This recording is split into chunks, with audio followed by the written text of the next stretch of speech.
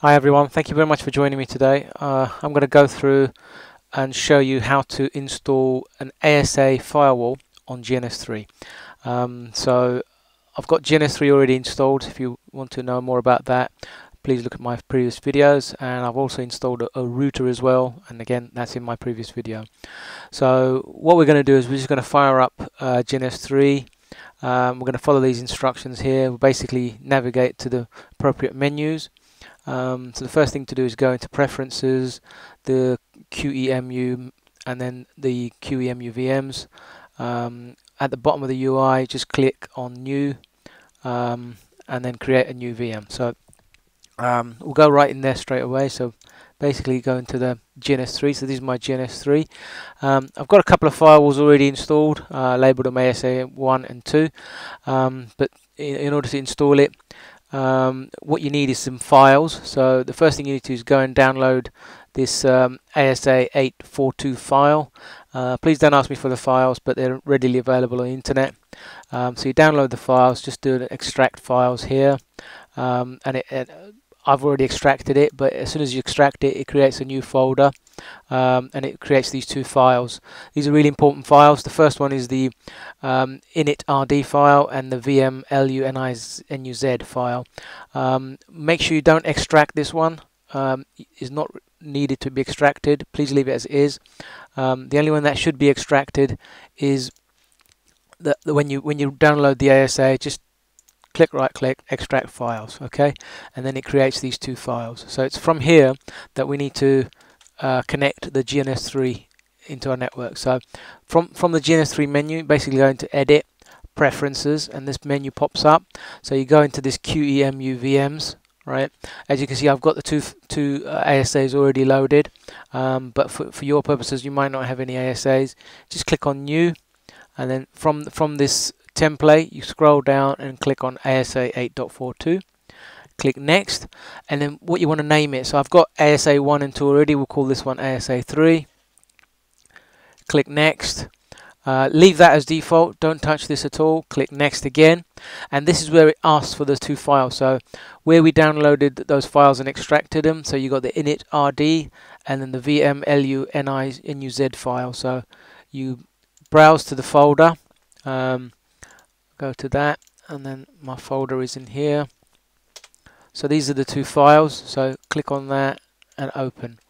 And it says would you like to copy that to the directory? What that does is it just takes your files. If it's in a different folder it likes to copy it to the images directory on the GNS3 you can say yes to that or no but I, I've already done it but you should say yes to that. But as I said I've already done it. And the next one is the the, the vmlinuz file. So click on browse. Um, go to the menu again and click on that and click open. And again it asks you do you want to copy that? I've already copied it but you can say yes to that so I'll say no to that and you finish. Um, so that's pretty much it. Your ASA is already installed. Just need to make a couple of little tweaks. Um, as you can see this optimization CPU throttling if you've got a, a, a less powerful machine um, then it's advisable to do that. Otherwise, you when you boot up the ASA, it throttles the CPU and it, and it knocks it down to 100%. Uh, but I've I've got an, a Pentium i7 with 16 gig of RAM, so I don't I don't really need to worry about it. But I'm going to leave that as it is. Um, all, all, these guys you can leave leave exactly as they are. There's no problems. You can just you know leave leave that fine. Um, what you do is just click on the ASA3 and do an edit. Uh, there's a couple of checks that you need to make. Um, the first one is go to the network. Make sure you, you, if you want extra interfaces, you click on additional interfaces and what type of interfaces as well. So you've got the gigabit, um, Ethernet, uh, but I'd, I would normally leave that to default. In the advanced settings, here this is where you can change your CPU throttling. Um, and also from the options menu, again, just confirm that the what I've got here is what you can see on your one. Um, normally you have to leave that default and also on the kernel as well. Again, uh, with, with, the GNS 1.3 it, it's already built in. You don't have to modify these but just double check that this is the settings uh, and make sure they're correct. Uh, so mine are correct. Just say OK to that and we apply that and say OK and that's finished. So if you now go to your your ASA. So now you see that you've got three ASAs, and I've just, just the one I've actually installed. Bring that in, and let's put a, a router in there as well. So we're going to that, put a router in, and um, we'll we'll connect these two guys up. So pull on the fast Ethernet, and then put that on the Ethernet. Okay, so in order to get both of them working, oops, sorry, uh, I'm going to get them both working. Let's just start them both up. Um, so both are green and they're started up, so these will be booting now. So we'll just give that a minute to boot up. So that, there you go, that's booting up at the moment. Okay, so we just booted these up. Uh, get onto the terminal. There we go. So the router's booting up, and the ASA is booting up as well. I'm just going to pause the video there while that boots up.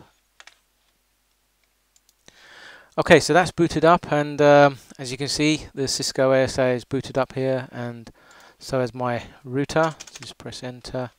That's the router's ready, and so is the ASA. So let's just put some basic configuration on there. So put some enable.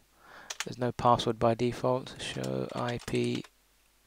Uh, show interface. Sorry, this is slide interface IP brief. So you can see I've got the four gigabit interfaces that we had installed. So let's just configure one of those. uh, ask later.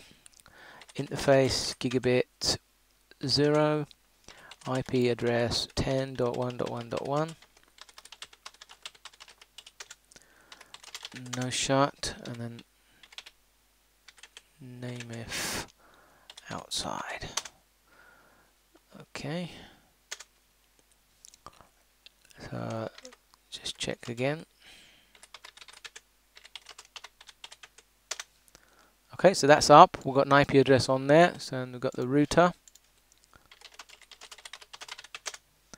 And we're going to configure fast ethernet 0 um,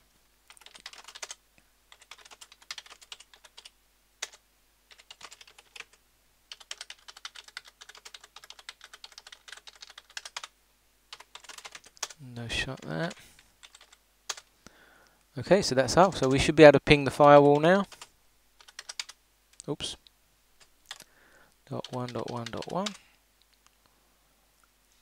there we go, pinging the firewall nicely. Just ping the other way as well from the ASA. No problem. So there you go. So we've got the ASA and the router both working. Um, and then uh, you can now start adding things to this. So in my next video, I'm going to show you how to build a complete firewall ASA lab uh, with VMware. Um, and I've got a number of uh, XP machines uh, with an ASA, some routers and some layer 2 switches as well. Thank you very much for listening. I uh, hope you enjoyed that. Um, I hope you found that useful. If you like it, make sure you give me a thumbs up on my video. Thanks very much.